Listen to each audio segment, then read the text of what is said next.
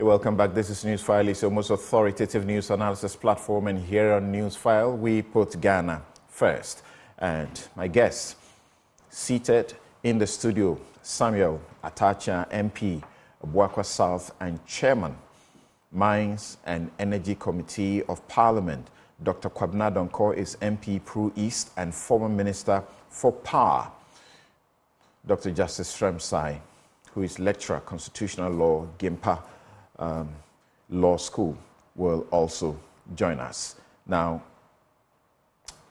right, not for this first segment, but in the next segment. And we also have Ben Boakye, who's Executive Director of the Africa Center for Energy Policy, ACEP. Gentlemen, good morning, and thank you for joining us this morning. Right.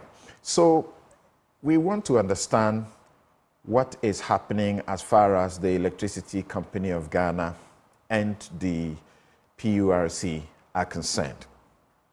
They issued an ultimatum, orders, with timelines for the um, ECG to comply with. The ECG appears to have complied with some of the orders, but not all of them. The part that the public has been expecting is a timetable. The ECG says they have stable national grid. That clearly explains that they want to say there's no need for a load shedding timetable. They have said that the problems are localized faults that you are encountering. And therefore, if you have any issues, call them. Pick your call, your phone, wherever you are this morning, if you are in darkness, and call them. Or if your area has been suffering this dumsor or whatever you call it, unstable power supply, erratic power supply, call them. The hospitals that have been complaining about the circumstances in which they can't even decide when to do surgeries because they are unsure what might happen, please pick your phones and call the ECG. Let's see what the response will be. But what does the ECG say? When he says, call us, we will fix the problem, and yet it is issuing releases explaining to sections of the public that your outages are as a result of something and they are working on it. Should they still call you? Begin with you, Dr. Kwabena What's your understanding of what is happening? Well, essentially, when you deregulate, you need a regulator. When you liberalize, you need a regulator. The regulator is the referee. The regulator looks at all the angles to the situation and then takes a decision. And in our context, we have two regulators. We have the PURC, which is the economic regulator, and we have the Energy Commission, which is the technical regulator. If a regulator issues orders or directives, the entity or the person at the end of it should comply. If you can, for any reason, can't comply, you immediately state, go back to the regulator and state your case. Or sometimes you can go to court to quash the orders of the regulator. That's right. This is what happens in uh, a regulatory framework. You see, regulation is a craft, and it is important we understand this. The PURC is there to protect the interests of consumers, the interests of producers, and all the players along the value chain. So the PURC is really the referee. And so when the referee issues an order, and it is legal, you have to comply. Mm-hmm. If you don't comply, you are fined. The entity can be fined. And so they, it is not for the ECG to say we have a stable ne- um, national network or transmission network, and so they won't comply or decide to choose where they comply and where they do not comply. In any case, ECG is not responsible for the national interconnected transmission system. It what is, is that? NITS. It's GRIDCO. It is GRIDCO that is responsible.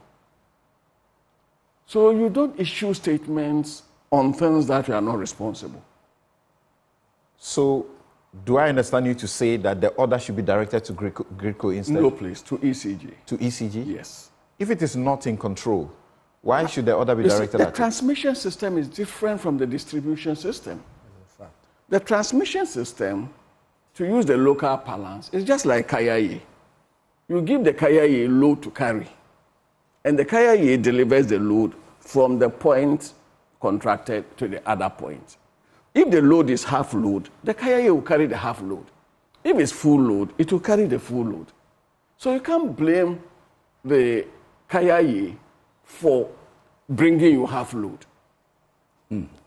Because that was what the Kayaye was charged with. Gridco is the transmission company. It will only take to the distributing companies, and there are two of them if you ignore uh, Enclave Power, which is a small private sector entity. It's basically Gridco and Net, uh, sorry, ECG and NEDCo. Those are the two distribution companies. So they have contracts. What Gridco does is to wheel the power contracted and the power supplied to their substations For them to for them to take to over. us. Yes, to us. So how do you blame me if I do not have enough power, if I'm not given enough power to wheel? So, are they really being non compliant when what they tell you is that it is not that they are shedding power, but these are things that are unpredictable? They are localized outages. How can you have a timetable to that? That is not factually correct. You see, at the scale, I can understand when one transformer goes off or a transformer is loaded and some of the modern ones will automatically switch off if they are overloaded, etc., or browns out. That I can understand. However, when on this week, on the average, you were shedding at peak 400 megawatts, it cannot be lo- localized. That cannot be localized. Look, you say you're, you are changing or working on your transformers, about 900 of them. You have over 32,000 transformers. So, how can work on 900, around 900, have this national impact? It cannot. I can understand ECG.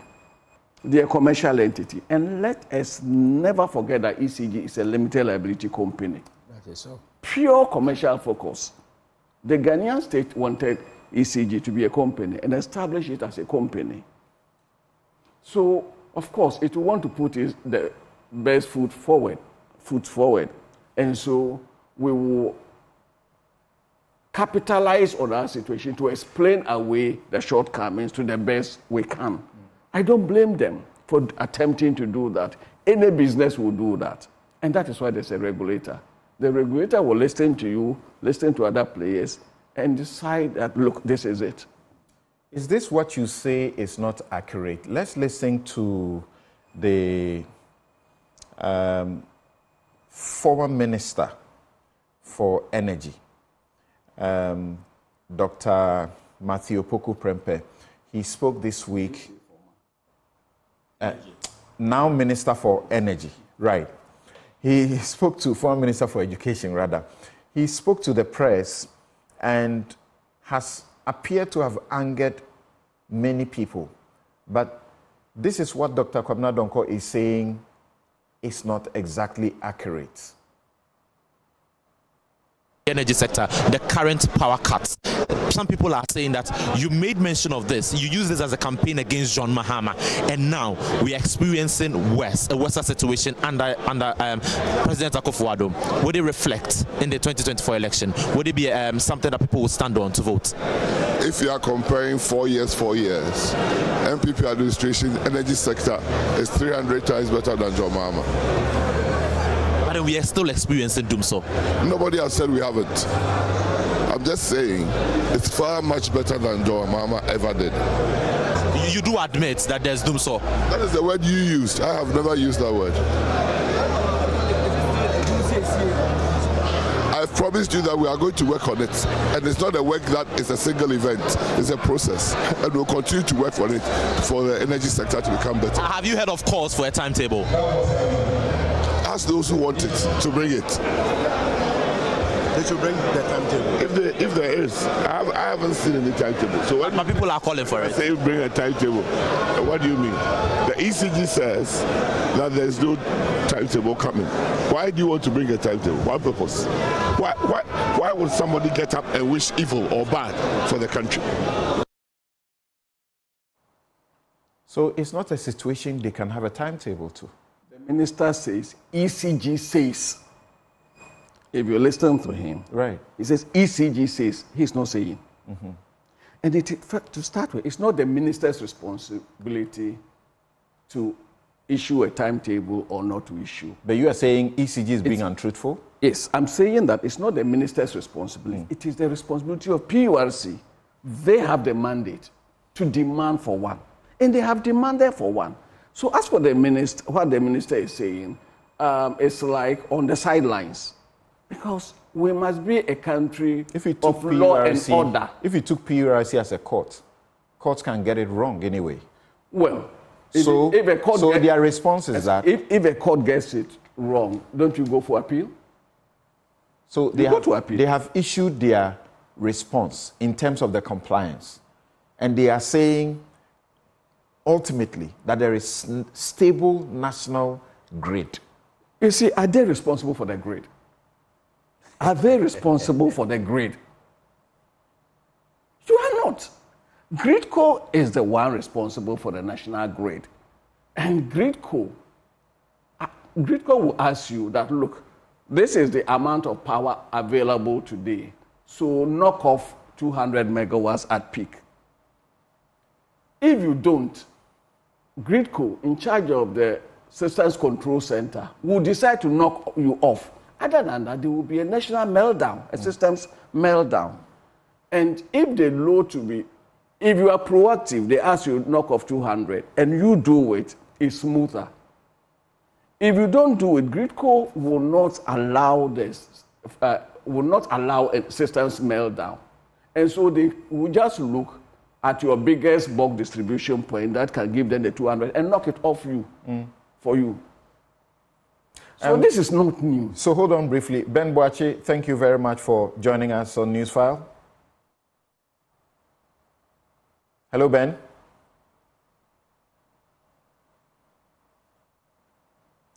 Ben, please unmute your mic. Yes, um, thank you for having me, and good morning to honorable members in the Right. studio. Right. So, what do you know? Is the ECG being untruthful to Ghanaians? Um, yeah, I think uh, it's been explained time and again that you know this is not a situation where you can actually hide uh, the truth. And when the power goes out, everybody experiences it. Uh, beyond that, the people who are working across the industry, uh, majority of them, you can say 99% of them are Ghanaians. All right, so at every level, there is information flow, and we can see what is happening in the system. And to the extent that people would deliberately shift the burden or, or the actual situation to uh, different events, uh, it's, it's quite intriguing, and we struggle to appreciate what is actually happening uh, in the system. We do know that there is a generation shortfall, and everybody in, in the power sector is trying to run away from that fact. Nobody wants to communicate that we have a generation shortfall, uh, which is accounting for uh, uh, you know load being shared. And I don't understand why that struggle. Um, on the ECG side, we have a contract with ECG. Every consumer has a contract with ECG, not Gridco, not VRA, not IPPs. They are supposed to give us power um, and provide power for, or in most cases, what we have paid for because we're using uh, prepayment uh, uh, meters. And they have to deliver. There is no excuse telling us that, you know, it is Gridco to blame, it is uh, IPP to blame. You have to give us power, you know. And Gridco also has been quiet uh, all this while, though they are the system operators, and they know that for over you know, almost three months now, they have been deficits. And that deficit has to be communicated. And ECG uh, wouldn't be the one to communicate it. They should communicate to the public that there is deficit. You know, they also have the duty to let the country know that we are experiencing, you know, generation shortfall, and therefore we cannot give to ECG what uh, uh, be optimal for them to serve uh, the country with. But for everybody to be quiet and try to massage the obvious truth it's incredible, really, to appreciate. On the 11th how... of March, this is what the ECG said. It said that uh, it had noticed, noticed that 630 distribution transformers within communities across their operational areas have been identified to uh, be full to capacity due to increased demand. This situation may result in blown fuses and broken conductors causing outages, especially during the peak load period, 7 p.m.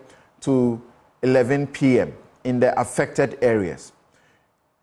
We wish, however, to assure our customers that transformer upgrading and new projects are ongoing to relieve these customers, uh, these transformers, to ensure a more reliable power supply. Customers within the, those areas and communities should therefore report any localized outages or voltage fluctuations to the ECG call center, and they provided numbers. Is this a situation you say they can provide a load shedding, uh, a timetable on for the affected areas? No, if transformers are overloaded, you change them. Um, you can switch them around. So if you have competent brief of what your operational area is. Uh, if my area is overloaded and another area is underutilized, you can switch the transformers. Uh, and these are incidences that you can actually tell the consumer ahead of time that we know that these specific areas we're experiencing overloading, and then you move in to technically assess if you don't have uh, transformers uh, in, in your warehouse, you then need to see how you can move some of the transformers around to be able to meet the load. Because if assuming that they are correct, that there is power and they cannot distribute, that is even terrible because the power has to be paid for once it's generated. And if you have power energizing the uh, transmission infrastructure and the distribution company cannot distribute because of these uh, challenges and inability to smartly move around transformers and get things done, then we are losing much more money, uh, you know, in that respect.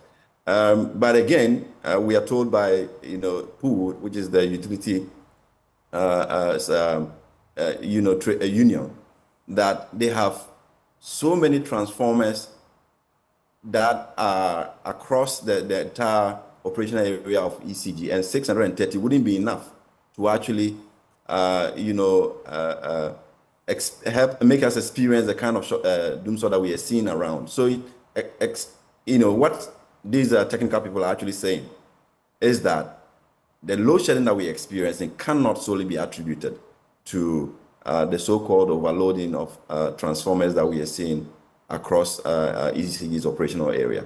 So it comes back to that conversation, even if you have those challenges.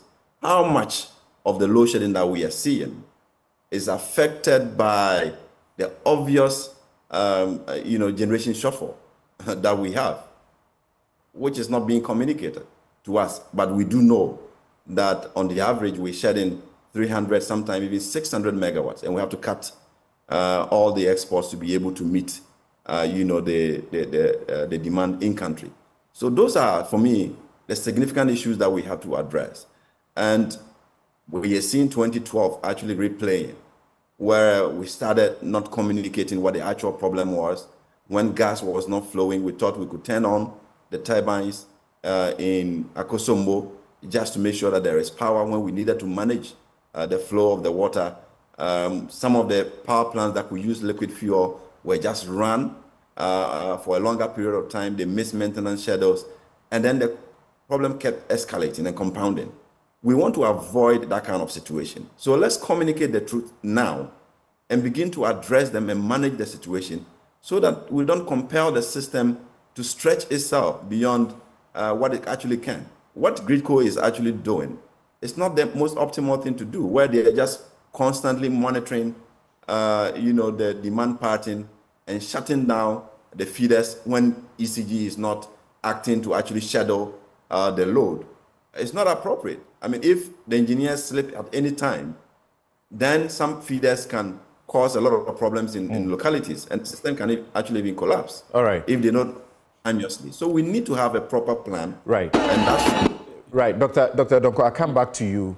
The Public Utility Workers Union. To give you the exact data for the 11th. Okay, hold on a minute, because this is tied to the issue he raised. The Public Utility Workers Union of TUC Ghana issued a statement two days ago, and they said ECG being transparent informed customers of 630 distribution transformers being full to capacity within its operational areas. It was stated that the situation may cause blown fuses and cracked conductors during peak periods. The replacement and upgrade of such transformers have been part and parcel of its operations since time immemorial.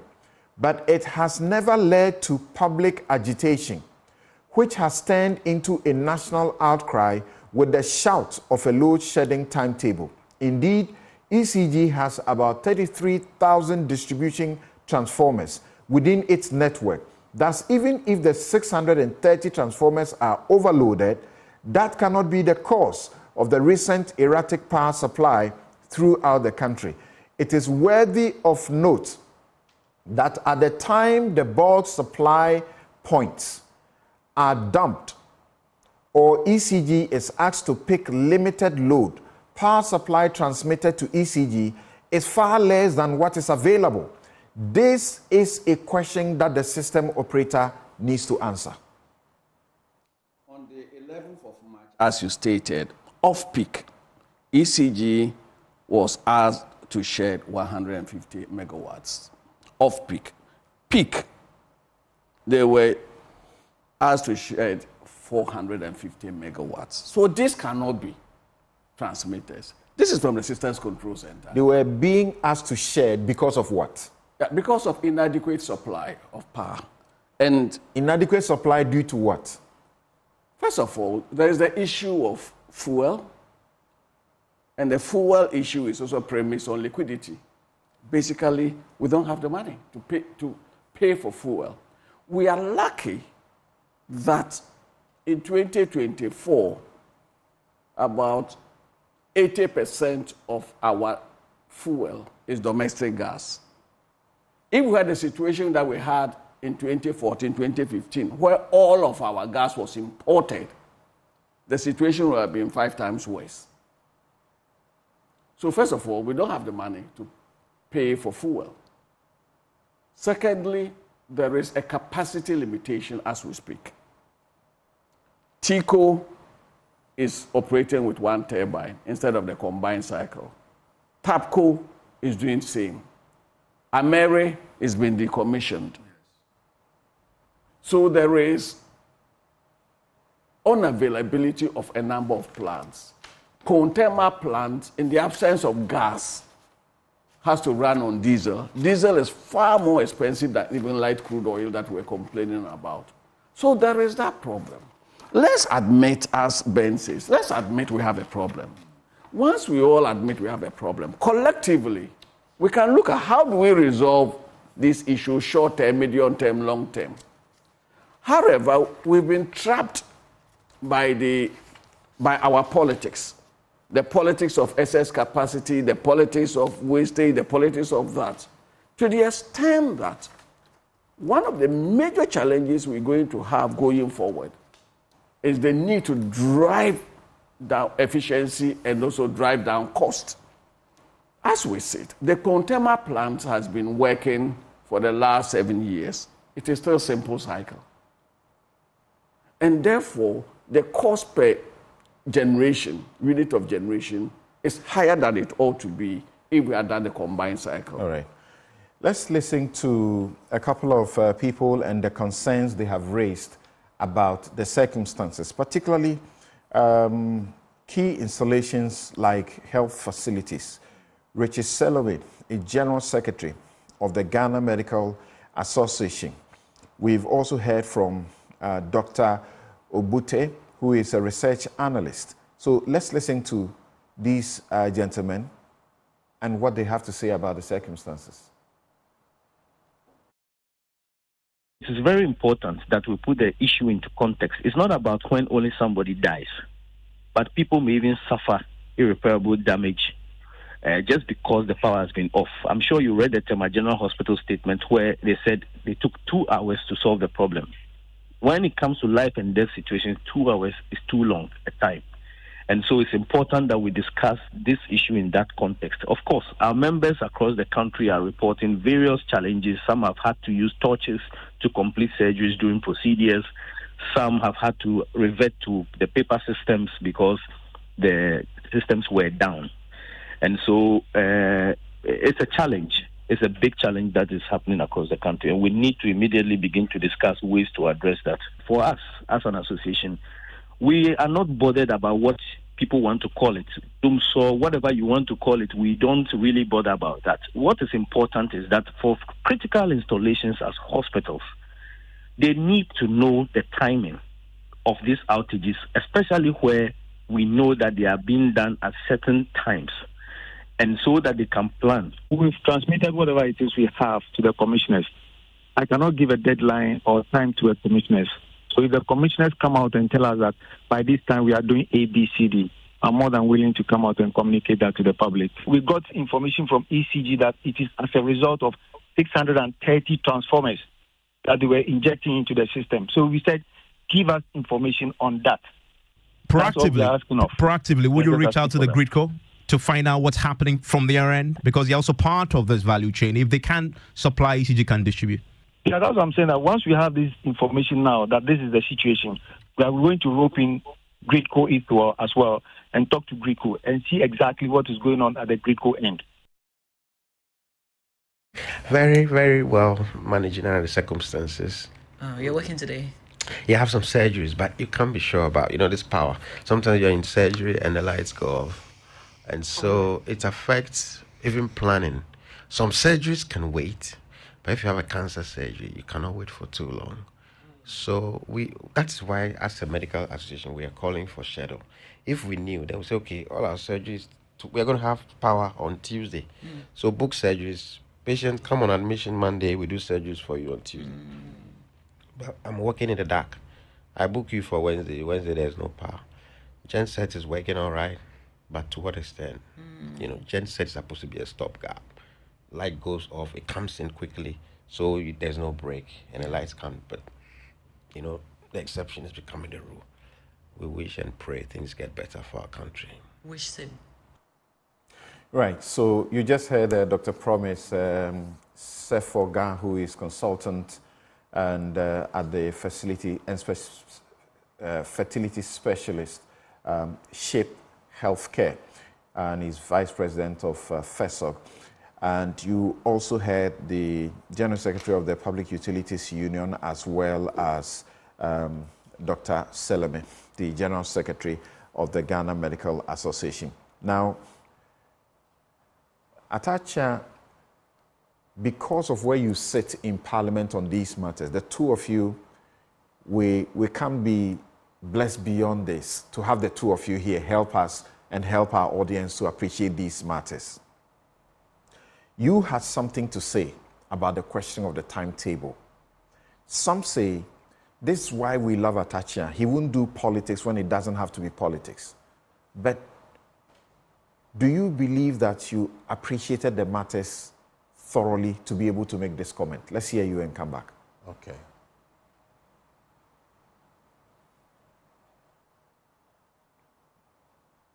It is imperative that if you have a challenge, whether it's a matter of generation deficit or a financial challenge, let the people of Ghana know that there's this challenge and this is the timetable. So people will plan around the challenge you are facing.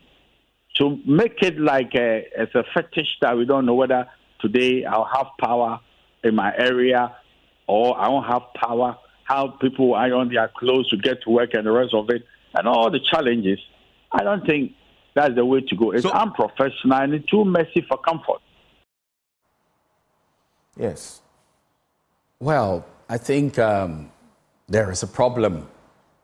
And be careful that you don't export the problem to the people who are supposed to have the benefit of your service. That'll be double trouble.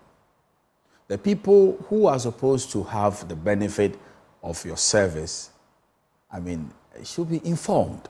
That's what I'm saying. Whether it's a generation deficit, financial challenges, or whatever your problem is, you owe it your own integrity to tell the consumers that, look, I'm having these problems. This is how we want to ameliorate your, your trouble. So I'm informing you in advance that I'm, you, you won't have power from this hour to the other hour. You won't have power from this day or whatever it is. A very credible timetable, having regard to your own challenges, so they plan their lives. But if you say that, oh, I'm having a, a problem, and I will show you how you also will have a modicum of comfort by way of a timetable. I'm afraid that is a very, very clumsy arrangement we shouldn't encourage because you give the power, you distribute the power. You know your distribution challenges. They don't know. So you know how you distribute the power, whether you want to, I mean, supply power to this area, maybe Akosombo, Kyebi, whatever. You should have a plan. Because if you are not careful, now what is happening is that um, let me treat the people who consume electricity as I please because I'm having challenges. This is where I believe it will not. In complying with the orders of the PURC, they have indicated how many notices they have issued over the period. Where are they? Several of them. Well, informing the people about the situation and how they are making efforts to resolve them. That is not treating the people with impunity, is it? Well, I, I am not aware of I mean what they've done before this. I mean uh, demand for timetable or stress strongly. That is my point of view. If the people had a timetable, why would they be disturbing your peace regarding the timetable and all the kind of problems that I mean is associated with the timetable? Where is the timetable? Now I'm, I'm, I'm educated that the timetable is, is, is out there for people to see. Let's do proper education and give information as to the timetable. And then people will plan their lives. I'm listening to a doctor who is saying that for some good reason, uh, surgeries are not safe. In the first instance, I was going to tell the doctor that you need um, a generator in a hospital setup. No dispute about it. Automatic generator where when you don't have power from electricity company of Ghana, it switches automatically. Well, in the middle of a surgery, if you are saying that, oh, the power source, I'm not sure, and you are playing lottery with the lives of people. So I crave your kind knowledge that if there is any hospital in Ghana, one, one, one uh, important machine that a hospital should have, we should have automatic turn on from uh, ECG power source, and then it kicks in directly. It's a generator. He spoke about the situation where the response is that it took about it two minutes for them to be able to switch over. Well, and uh, somebody had alleged that a child died as a result of that, and they came to explain that you can't trace the death to the outage. And he says two minutes time is very critical when somebody you know, is well, well, right Now, right now, they have an understanding of what they do in the hospitals and the sensitivity of the matter. We have automatic. Precisely. I mean, I mean, I'm a switch. Excuse me to say, I don't want to talk about private matters. So, if you want to be antiquated, I'm afraid it's a joke.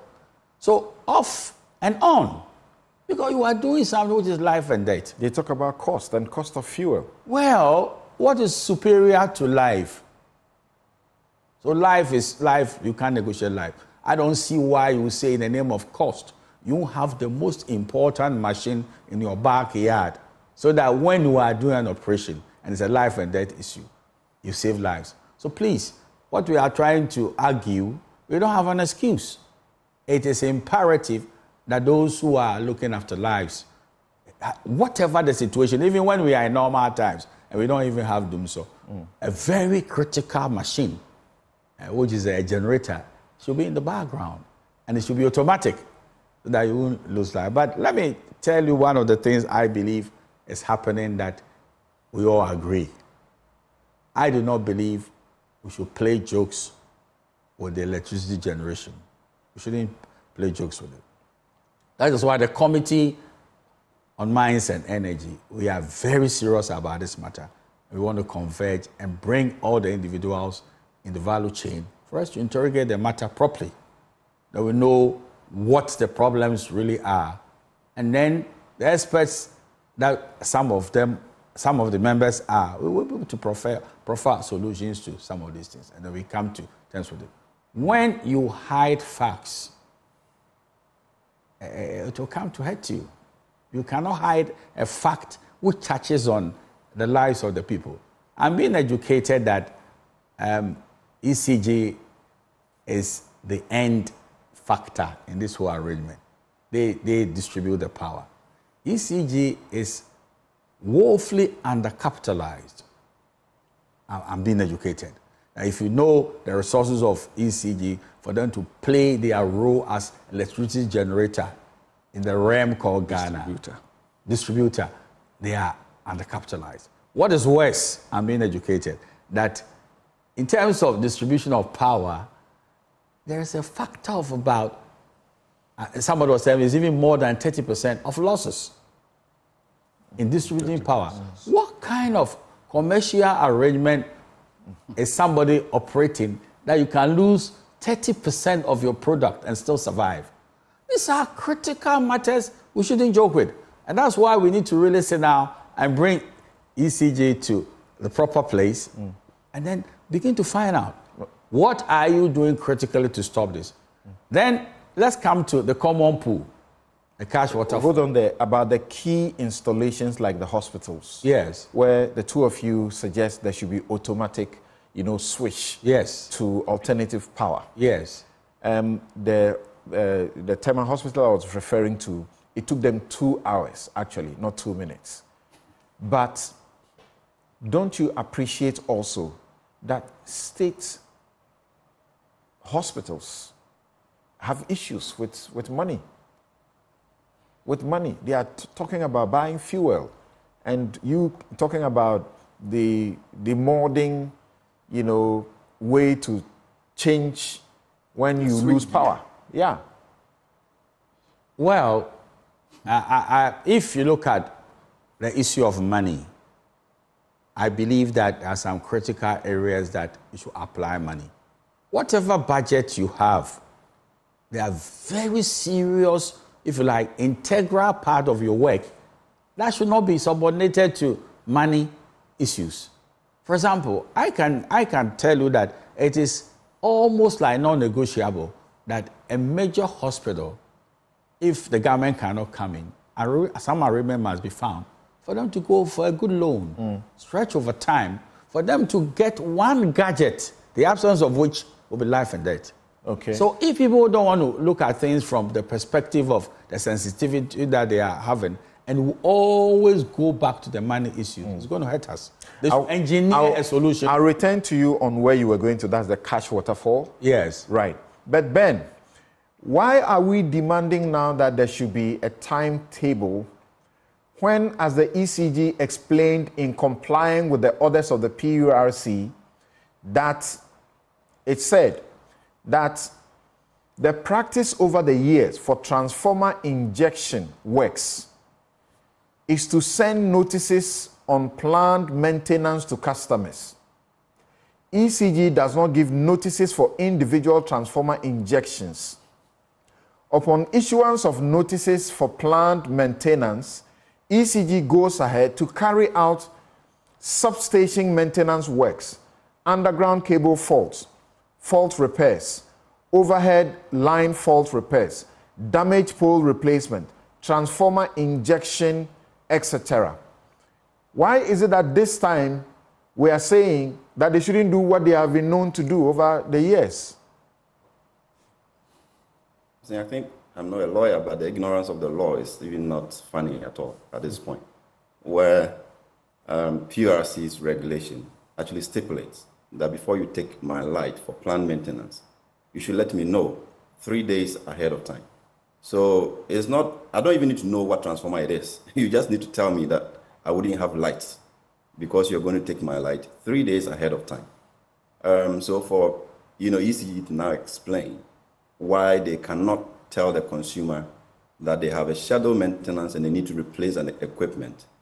Uh, it, it's really, you know, since against the law. No, that they have the, said. That they have said. They've given notice of that. But it is about what is be, being called for a load shedding timetable. I think that is different from informing the public that we are going to do this work. Uh, that's one they have told us, right?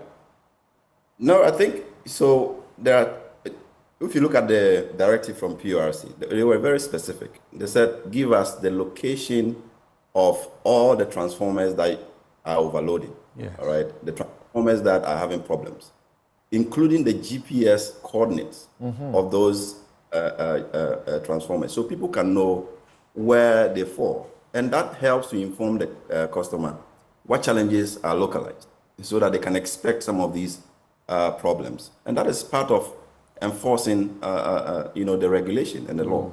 And if you are not doing that, then you're actually violating the law. Because you already you know the 630 uh, transformers that you say are overloaded. So let the people know so that when my light goes off, I can just go and see if there's ECG worker working there uh, on, on the transformer or something is being done on the transformer. They have refused to do that. You know, and that's where the problem really is. Wow. Um, you need to let the public know if you're going to take their light. If you can't control it because you know that the transformers are overloaded, it tells you that your, my light can go off anytime. And therefore, having that information also help me, helps me to plan. Uh, you know, not knowing when the light will go off, but I know that at least there's a, a, problem with my transformer and I need to expect that the light will go off at some point. And those who don't have that problem also know that when their light goes off, they cannot be attributed to the transformer uh, being faulty. So that kind of information has to go out to the consumer and let the consumer know. Mm. Thank you very much. And uh, I return to you on your issue of the uh, cash waterfall mechanism matter. What about it? How does it also contribute to what we are experiencing? I'm being educated that uh, the cash waterfall mechanism is not by legislation, it was a policy of government. So it filtered through cabinet and it's become like a rule of thumb for the way ECG should manage issues. But I'm being told also that, first of all, there's such a revenue shortfall at the end of uh, uh, the job being done by ECG. Now, what comes into the common kitty and is being distributed is not enough to compensate for the services they are rendering. And I'm being educated, which is very, very serious, that if you press, if you press the issue of the cash waterfall mechanism to the point of saying that um, if, um, give this to this, give this to this, uh, first of all, the independent power producers should have it first, and the flow of it and the rest of it. What is left for ECG to function is negligible. This is what I'm being told. And if we are not careful, and we, we, we comply fully with the, uh, the cash waterfall mechanism, ECG will comatose because it doesn't generate enough money to be operational. This matter our committee wants to interrogate because we wouldn't want to have a policy uh, which is so stringent that um, ECG, with all the challenges, complying fully with the cash waterfall mechanism or run aground, and then we have double trouble. So I am very much concerned about some of these matters which are coming to the fore, and we need to look at it critically. If we are not careful, I respect what uh, the regulator is doing. The regulator is actually a creature of law. If you pay regard to Act uh, um, uh, 538, there's nothing that uh, PURC is doing which is untoward. But be very careful that in a mechanical approach to the issues, um, the distributor uh, will not collapse. So let's look at it from these perspectives. Mm. Uh, uh, in respect of that, just a small one before we proceed. You see their compliances. Of course, there is, I think, one or two that the deadline is not yet kicked in. Mm. It's in April 2 or yes. so, thereabout, or 8. Are they justified if they decided that, look, we have, we have contracts mm. with certain people, with certain entities, and we cannot be making certain disclosures under this cash waterfall mechanism because we may be, um, as it were, breaching the law in that regard. Well, I do not know of any disclosure to a regulator that would hurt you mm. with the greatest of respect. You see, because I do not see any decent regulator um, using the confidential um, material to your disadvantage. Perhaps what they want to do is to peruse certain issues and, and proffer advice. Okay. But if we credit the regulator with decency, that the information I'm exacting from you, I want to use it for probably to help you perform better, then I don't see why it should be a problem at all. All right. So they shouldn't they shouldn't withhold critical information from the regulator because they will offend against the law. Mm. Thank you very much. Yes, Dr. Kwabena Donkor, if you are talking about that or something else. You see, I am extremely worried about the perception of this cash waterfall mechanism. Mm. I'm extremely worried. The cash waterfall mechanism is an administrative tool, a managerial tool to manage a situation. And what is the situation? The situation is that one, we are under recovering costs. Ordinarily, and that was why I stated earlier on that ECG is a limited liability company. That's so. When a limited liability company, though wholly owned by the state, yes, yes. is undercapitalized, mm. the shareholder has an obligation to inject capital. No dispute about it. And yes, currently the state is doing, injecting some money, but not as capital, but to support operations. The Ghanaian state is paying about 250 million cedis every month for fuel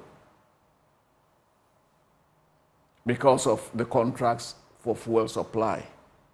And that is still not adequate. And therefore, there is a debt burden exceeding $1.5 billion on the sector. The debt burden is that Ghana Gas is not being paid by VRA.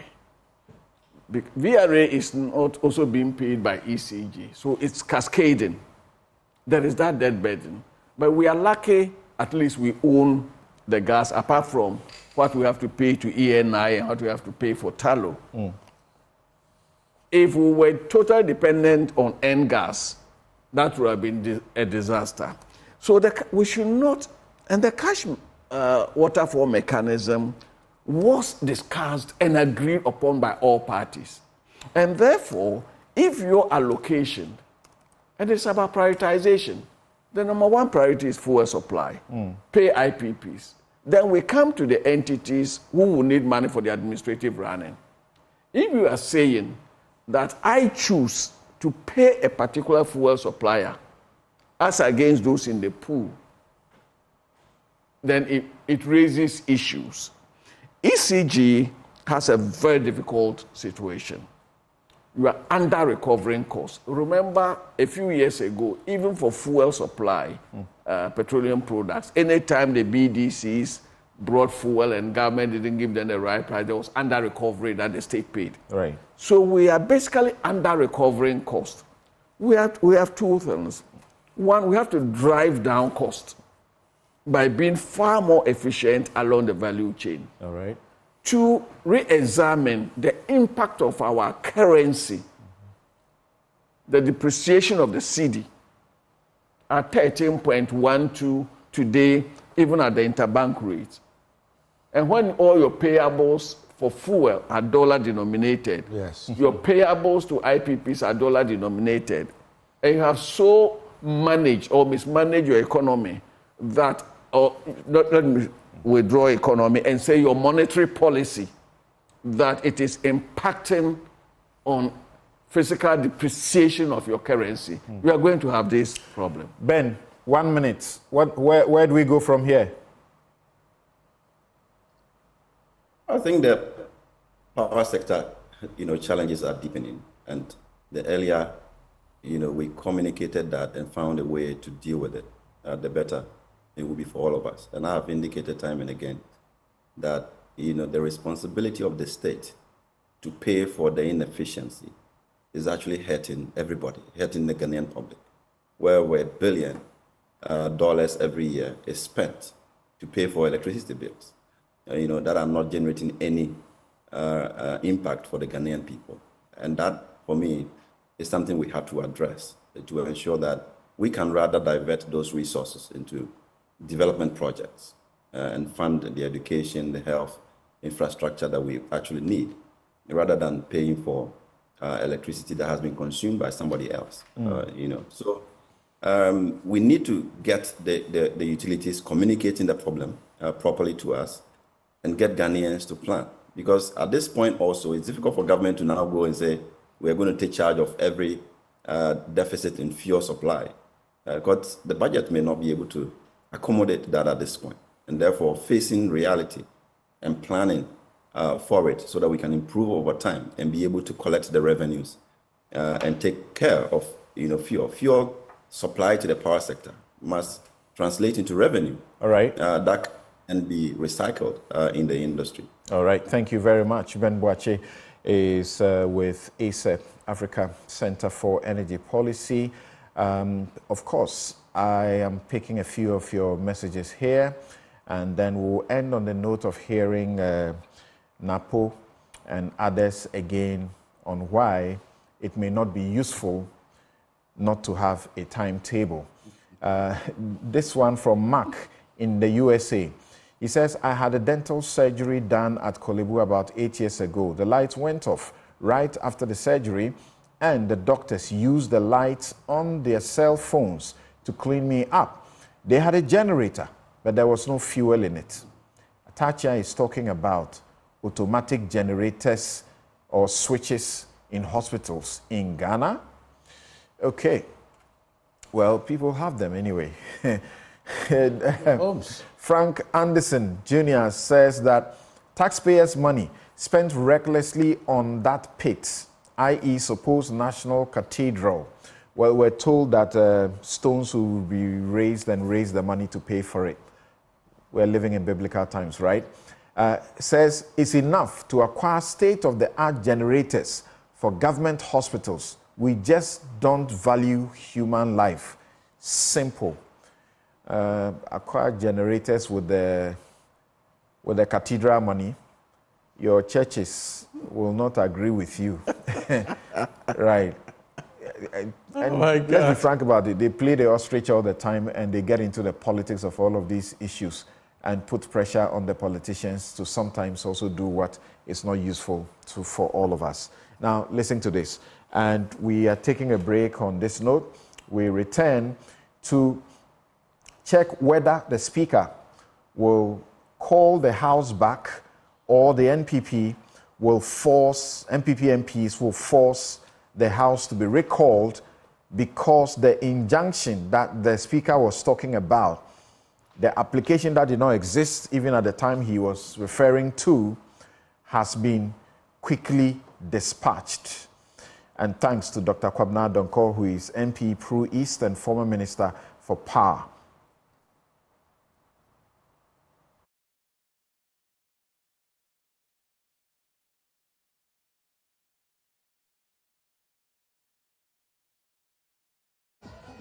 It appears that government just doesn't care.